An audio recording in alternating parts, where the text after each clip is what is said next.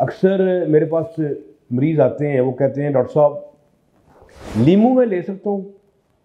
मैं कहा, ले लो।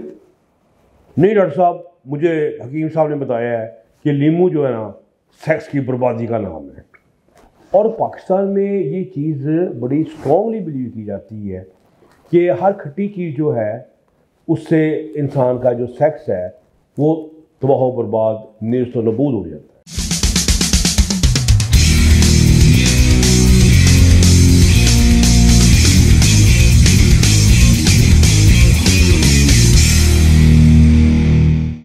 रहीम मेरा नाम डॉक्टर मोहम्मद हारिस खान बरकी है।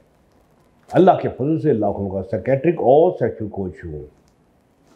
अक्सर मेरे पास मरीज़ आते हैं, वो कहते हैं, डॉक्टर साहब लीमू मैं ले सकता हूँ? मैं ले लो। नहीं डॉक्टर साहब, मुझे हकीम साहब ने बताया है कि लीमू जो है ना सेक्स की बर्बादी का नाम है। और पाकिस्तान में ये चीज़ बड़ी स्ट्रॉन्गली बिलीव की जाती है। कि हर खट्टी चीज़ जो है, उससे इंसान का जो सेक्स है, वो तबाह, बर्बाद, नीरस नबूद हो जाता है। तो मैंने कहा, इस पर कुछ देखें, कौन सी इसमें गिदर सिंह है जो सेक्स को तबाह कर देती है? तो लेमन को मैंने फिर स्टडी किया तो पता चला, लीमू के तो फ़ायदे बहुत हैं। मैं तो हैरान रह गया देख के, कि ये खाने में मदद देता है स्किन को ये ठीक करता है, और इम्यूनिटी को ये इन्हांस करता है। इम्यूनिटी का लेवल विटामिन सी के साथ अटैच होती है। विटामिन सी इसमें बहुत ज़्यादा पाई जाती है और विटामिन सी जो है कोलेजन बी बनाती है कोलेजन उससे इंसान की स्किन वगैरह अच्छी हो जाती है इवन नफ्स भी इसमें भी कोलेजन इन्वॉल्व होती है। वो इम्प्रूव हो जाती है। फिर सबसे अहम बात यह है कि ये वज़न को कम करता है। लिपड्स जो है आपकी चर्बी, उसको ये कम करता है। फिर उसके अलावा इंसुलिन रेजिस्टेंस को ये कम करता है, आपको शुगर से बचाता है।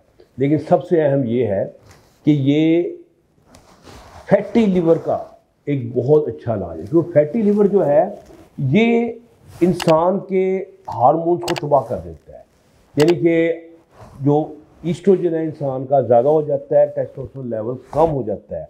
और फैटी लिवर की वजह से विटामिन डी और विटामिन ई और जो फैट सॉलेबल विटामिन हैं वो एब्जॉर्ब नहीं होती।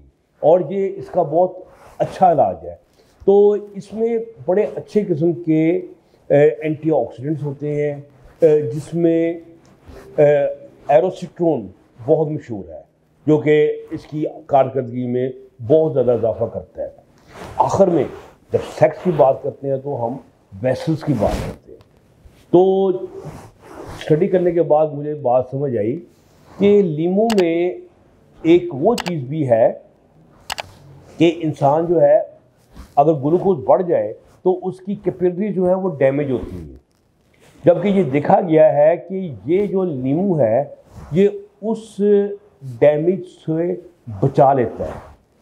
यानी कि आपकी कैपिलरी जो है, उसको कैपिलरी को डैमेज से बचाता है और आपकी वेन्स, उसमें जो लीकेज होते हैं, उसको भी रोकता है। इसका मतलब है, जो हमने सोचा था, जहाँ हमने स्टार्ट किया था, कि अगर वेसल्स ठीक हैं कैपिलरीज ठीक हैं वेंस उससे बेहतर हो रही हैं, और बाकी उसके कितने फ़ायदे हो रहे हैं किडनी के अलावा, यानी कि स्टोन को रोक रहा है इस तरह बॉडी के अंदर ये अल्कलिनिटी पैदा करता है एसिडिटी को कम कर रहा है, इन फ़ायदे के अलावा भी हम देखें तो सीधे सीधे कैपिलरी के ऊपर जो इफेक्ट्स आ रहे हैं वेंस के ऊपर इफेक्ट्स आ रहे हैं, ये तो सेक्स के लिए बहुत अच्छे हैं। हाँ ये बात है कि ये नहीं कि लीमू निचोड़ के पियेंगे तो सेक्स व्यागरा का इफ़ेक्ट आएगा। लेकिन अगर आप लीमू ले रहे हैं तो आपकी सेक्स बरकरार रहेगी। आपकी सेक्सुअल हेल्थ बेहतर रहेगी। तो ये तो कम से कम लीमू को क्रेडिट आप देंगे।